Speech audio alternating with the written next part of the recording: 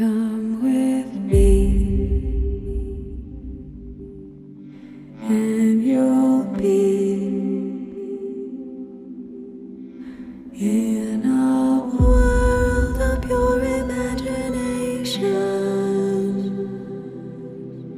Take a look,